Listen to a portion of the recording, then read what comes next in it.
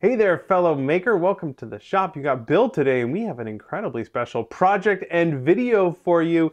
You know that we love Myst, Cyan World's best selling video game all time, one of our favorites. They made a sequel in 1997 called Riven, which is arguably just as good, maybe even better.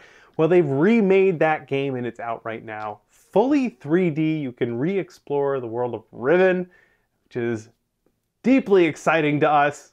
So pumped. You can grab the game right now. There'll be links down below. You can get it on Steam or Good Old Games. You can get it on iOS or on Android and a bunch of VR platforms. Whatever way you want to experience Riven, you can do it today. We're so pumped for that. To help spread the news, Cyan Worlds has hired us to make something cool from the game. And of course, nothing more iconic than the Moiety dagger from Riven. There's a giant one right when you get to Riven, right behind your little prison there, and we're making it as like a ceremonial dagger type prop. This is a 3D print. I've already 3D modeled the dagger. I've printed it out. If you'd like to print your own, we'll have a link down below where you can get these files for free. Print it. You just need a quarter 20 rod going down the middle. You'll have to tap the uh, pommel and the blade to screw it in, but it's a really simple and fun print. And how cool is that? Now, this is cool but it could be cooler. I'm going to make this out of aluminum. I'm going to put my CNC skills to the test. This is definitely the biggest and most challenging CNC project uh, of mine to date, and I'm looking forward to leveling up my skills. It's going to be really fun. Uh, step one, of course, was to model all this. I've done all of that, and now I need to come up with some strategies for cutting all these pieces out of my stock aluminum, and I think I'm going to start right here with the pommel. This is the pommel form that we're going to cut out of this big honking piece of aluminum right here. I've already sliced a cookie off so that we can feed that into the CNC machine right here and cut out, I think, half of it. I think I can cut this back part of it here and then tap that hole and then use that to hold it in the lathe. And then I can do the other side on the lathe. Uh, but the first step is going to be fire up the old Shapeoko and try and carve out this bit. Confidence is high. I'm uh, centering the machine on the center of the uh, aluminum cookie I've made here. It doesn't have to be perfect, but it's got to be pretty close. I have a little room on the edge here. Uh, we're going to zero it. Yeah, it looks pretty good.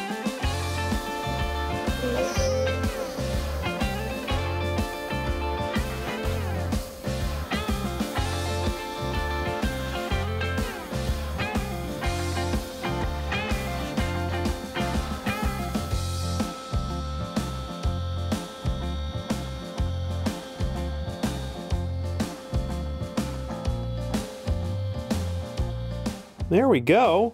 That was about two hours worth of cutting right there. Uh, and if you're curious about the mess I made, it got just about everywhere. I covered my PC there so it didn't get chips in it, but uh, I didn't put the vacuum on there because I wanted to film it. So this is just my mess I have to deal with now. I'm over at the lathe to do the next operation on this. Now, I had to figure out how to hold this thing, right, in the lathe. This is a much wider diameter than my lathe can handle, so I had to find some way to grab it. My idea was CNC this part, tap this part, and put a threaded rod in there, and that's what will hold in the chuck. A quarter 20 is a little thin, but I think it ought to work. Uh, next step is to tap this thing. I'm gonna do that right on the lathe. This should ensure that things are pretty much square. Put a little cooling oil on there. And then we'll just run this flat against the chuck so that it goes in at a perpendicular angle. I've got it started now, so I'm just gonna do it outside the lathe by hand. Got our thing tapped and we've got a uh, quarter 20 bolt all mounted in the lathe. We can just thread that on there nice and tight and start taking light cuts off of this. What's nice is because of the way this rotates, any resistance will actually make this tighter. So we shouldn't have any trouble there.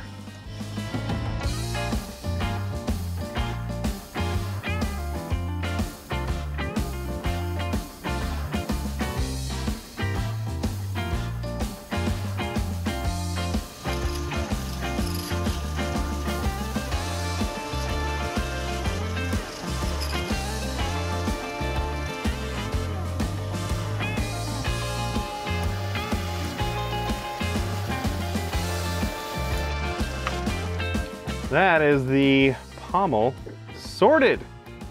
And boy, does that look good. Oh, it feels good too. Look at that. All right, well this piece is done until we do our final finishing on it, but let's go see how it looks on the dagger. All right, out with the old. I'll, I'll keep it for, you know, for nostalgia's sake. In with the new.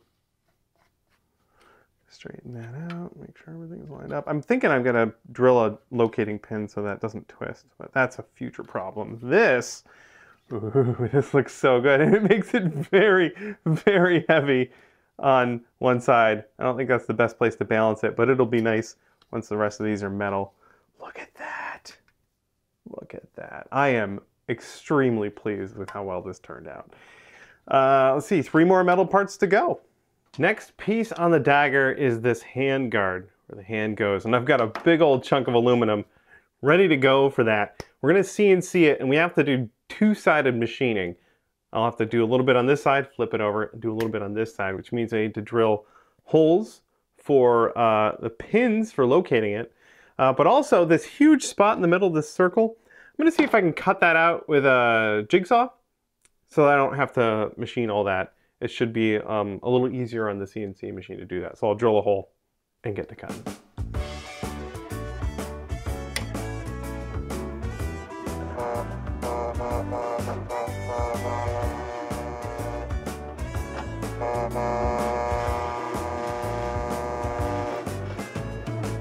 And we're through.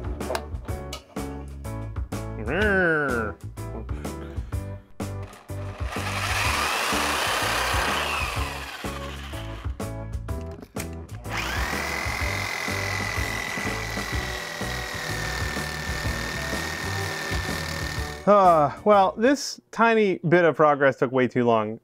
So I'm just gonna do the whole thing on the CNC machine. I thought I would be saving time doing this, but it's taking way, way, way longer. Let's have the robot do it. Got that piece all set up here on the CNC machine, and I'm gonna cut out that middle part, fingers crossed. Because I need to cut both sides of this eventually, I've had the CNC machine cut some locating pin holes. There are also some pins in this spoil board. So once I'm done machining this side, I can flip it over and lock it right in. For those pins, I've just got some quarter inch aluminum dowels.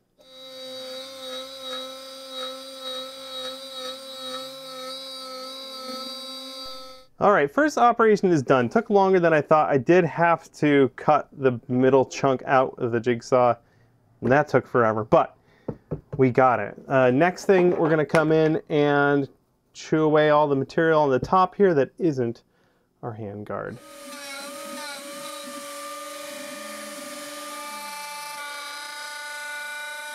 We've got one side of this mostly cut. I'll have to come in and, with a file and clean this all up. But uh, it's time to do the other side. And this is where these locating pins are going to do a lot of work for us. I've got the pins holes on this side. And when I flip it over, I can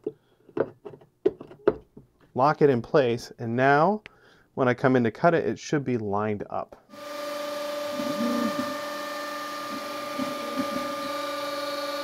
Got both sides of this thing cut. It's time to cut it out along the outside here.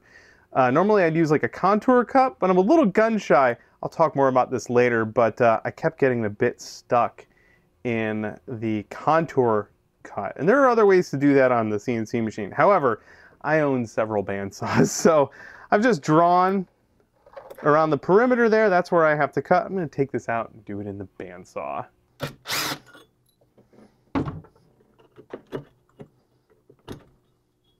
Ooh. Ooh.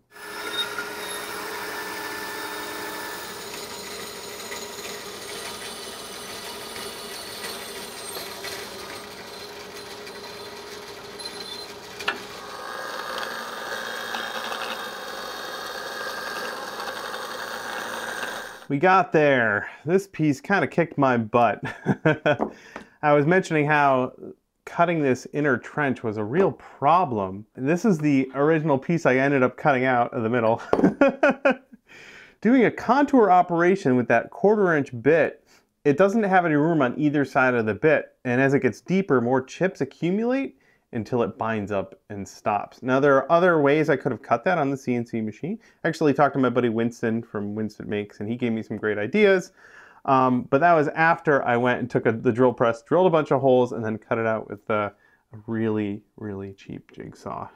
but like I said, we got there. We were able to do that. Um, this has been an education and I'm not done. I still have more pieces to cut, so I'm sure I'm going to learn more kind of like my uh, butterfly video. This was like my first big complicated CNC video or project. And uh, it was difficult for a bunch of different reasons. These thin wings, when I was trying to cut them on the CNC machine, were actually buckling up a little bit when I clamped it down to the board and the CNC machine was cutting right through the middle of these parts. I had to figure out a way to do that. So I learned a lot with this little delicate CNC project and now this big chunky CNC project, guess what? It is also full of lessons. Uh, and I will never forget them because, boy, it is uh, a little scary when that machine binds up starts yelling at you. Anyway, we've made great progress. Now I need to drill the holes. This is the hole that the threaded rod will go through. I obviously can't cut that with the CNC machine. We have to drill it by hand. And for that, I 3D printed these little jigs. It just snaps right over the end there, and then I can take my correct size drill bit and drill a hole through that'll be perpendicular like that.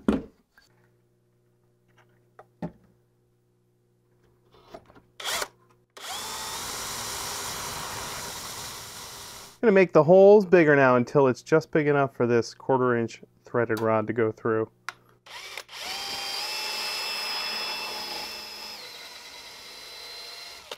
Looks a little cattywampus. I think my uh, jig slipped a little bit. Or I probably bored out the inside of that 3D printed jig. But I think we'll make it work. And here we go. That's all we need. A nice loose fit is nice. Some wiggle room is okay with me. All right, we have another piece. To, actually, is this a top? Will this spin? No, it won't. Okay. New metal part to replace. Um, I still have to like sand and finish this. That'll happen later. Uh, out you go. In you go. I'm going to make the final piece of this out of wood. That'll be cool. There we go. And the other side. this is exceptional. All right, on you go. Another piece cut out. Oh yeah, all right, that looks so cool. Next is this part, and we'll do the same thing. Cut it out two-sided on the CNC machine. Should be, should be a cakewalk, right? I shouldn't say that out loud.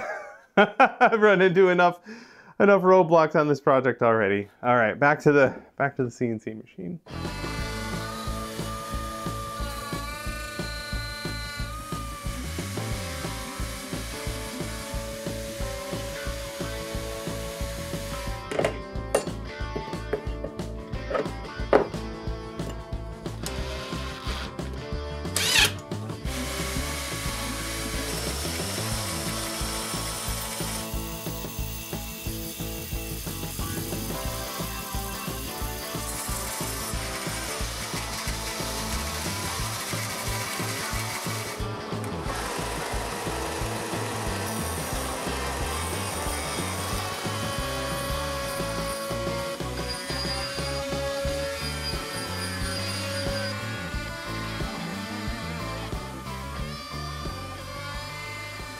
Time to add another piece to our dagger here.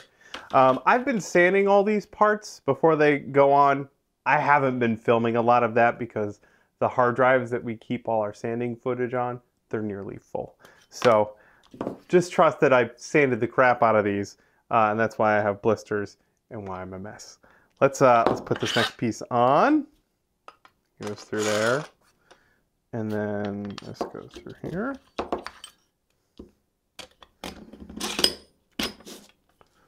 And then this goes on. There we go. Tighten that up. Yeah. Oh, it is almost, almost there. Boy, that feels really good. I love it. All right, we have one more metal piece to make, and that's the blade.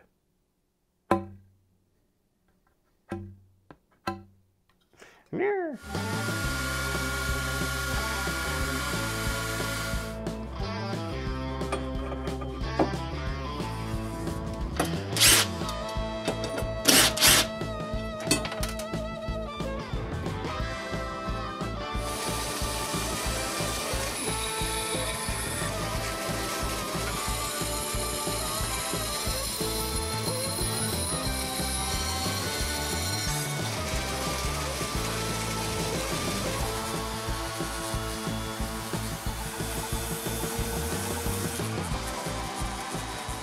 There's our blade all cut out and of course sanded. Ah, So much sanding. Brittany even helped. Thanks, Britt. Welcome. All right, this piece needs a hole drilled in the back of it so that we can thread this uh, rod on there. And I've 3D printed another drill guide. I do need to be careful. The last one melted a little bit and my hole was kind of cockeyed. So we'll put this on there and we will slowly and carefully drill a pilot hole and then widen it for tapping. We're gonna we're gonna use a little cutting oil here to help us. And then very carefully, let's see here, let's do this.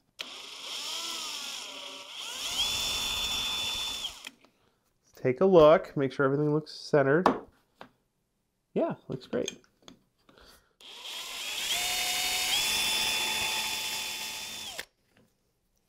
Now that we have our pilot hole drilled, we can make it a little wider. little chamfer. And we can tap it. All right, I've got a quarter 20 tap for the threaded rod. I even have this little tap guide that I made to help keep it square.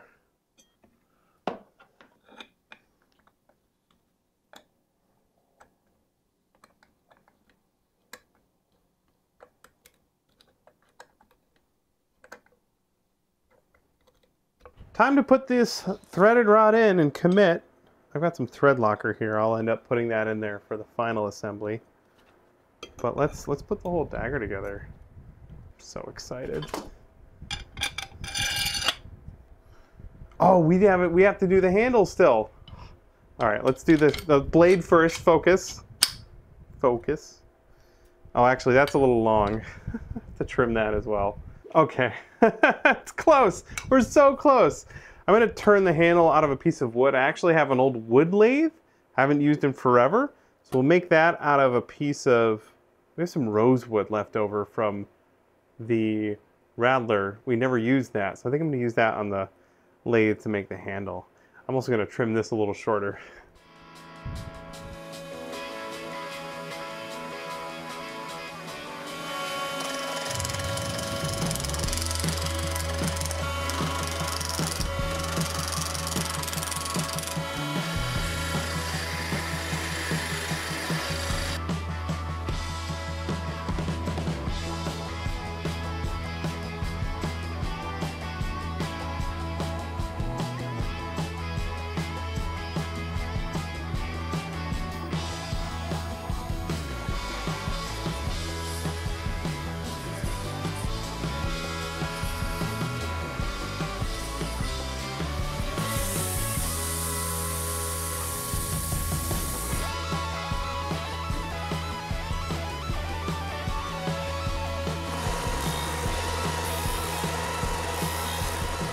Look at that. That rosewood turned out great.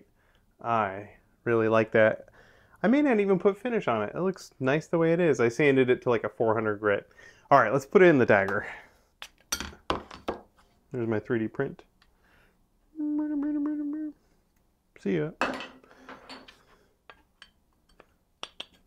Oh my goodness, this is so exciting. The sounds are so good. Oh, also check this out. Ready? I figured out how to spin this like a top. Ready. Ta-da! It Yeah. can be done. I've been down here too long this week. oh, here we go. Oh my goodness, that's so exciting. May have to put a pin through there to keep this top part from twisting, or maybe it's, if it's tight enough, it won't twist. Oh! How good is that? Oh, it feels great. The handle, the wood handle. I love it. Look at it, Brent. Look at it. It's so it's so heavy. where's where's the balance on it? Can I hold it? Ooh. Yeah. Oh, it's amazing. We were just trying to figure out how we want to finish the surface on this. It's been sanded to like a 200 grit, and then I buffed it with some Scotch-Brite pads. I think I want a little bit of polish. I, I don't want it to look shiny new, but I have some aluminum polish, I think for just the edges and highlights. We'll give that a go and see how it looks. So like the, the tip of the pommel here.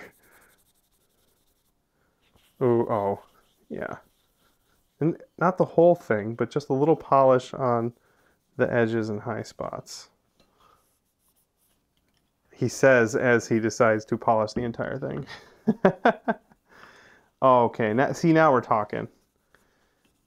So that we get this nice highlight. Oh, yeah.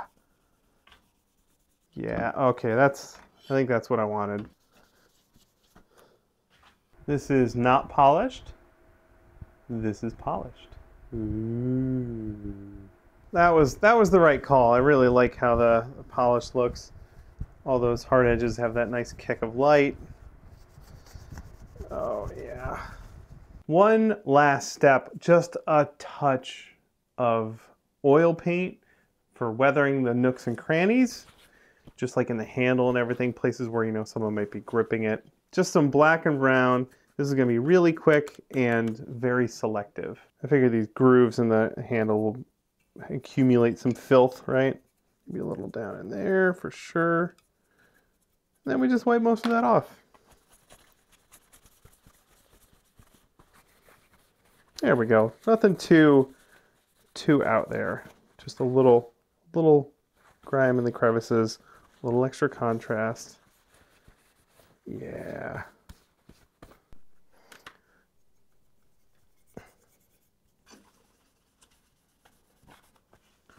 That's just about it. It looks pretty great. Now that we're all done, there's only one thing left to do. This is gonna live at Cyan Worlds. And I can only think of one appropriate way to get there. See you on the other side.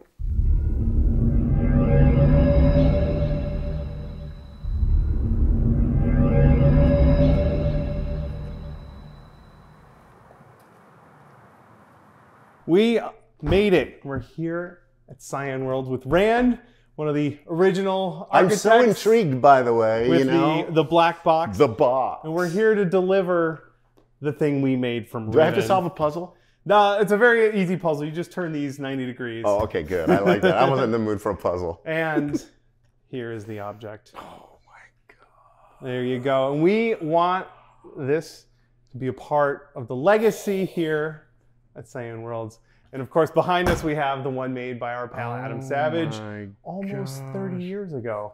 I, that's hard to believe because I don't. Surely, I'm not that old. So I couldn't Surely. possibly be that old either. Wow, this is, Bill. This is just. Oh my gosh. yeah. I'm really excited. Oh my gosh. I love how, for a video game, Myst and Riven actually have physical artifacts. It's in rare. fact, they're down in the in, in the vault. We're going to go check those out in a little bit. yeah. Uh, yeah. and we're just really excited to contribute to that Oh legacy with our man, own. this is own so thing. cool. Oh man, I oh, I wish you guys could feel this. You know, it's the real thing. It was fun. It was a there's real- so much detail in this. Oh, isn't it great? It was a real challenge. I learned a lot making this thing. I really leveled up some of my maker skills, man, and uh, we're really happy and proud to pass it along. thank you so much. You We're gonna have to design a few more uh, intricate things now Yes, for you, if Bill. you- now that you've honed your skills. Anything new from a new game that you want us to make, you just let us know. We'd be happy, happy Perfect. to contribute. Thank you so much. You bet. This is great. Well, we're stoked. There's a new version of Riven out to go play. gonna go check that out. For the rest of the day and us, we're gonna we're gonna bask in this for a while. Thank you all so much for watching. Thank you, Rand, for having us. This is amazing. Thank you to the members of our Extra Credit Club for supporting what we do. We've got a link down below to Patreon or right here on YouTube where you can join and get access to videos early. That'll wrap it up from us here in Spokane, Washington. We'll see you in the next build.